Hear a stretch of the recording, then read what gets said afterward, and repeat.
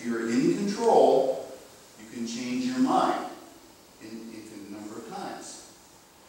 Also remember when we were doing that core drill, we started to do the forward roll and then we rewinded, and then we went forward again. You can fast forward and rewind all you want in that roll until your stomach gets out. But that's an option. What's going to happen is Barry's going to be okay, John John's going to throw, and Barry's coming up, and at some point, oh, to have a reason to not stand up out of control, because I would have taken his head off. Oh, I didn't do anything, so he shouldn't have been bouncing up and down.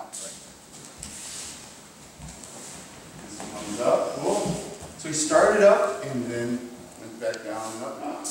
His goal is to be smooth and mindful, he's coming up and he's mindful down and up. We just did this exercise, he's under control, he rolls smoothly, he's coming up, I give him a reason to up. But we may also be doing control. As he comes up and cut his ankles, you better hop.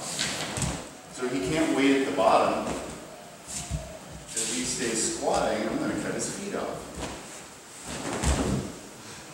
Right? So that means he's under control and aware that the situation is changing right now.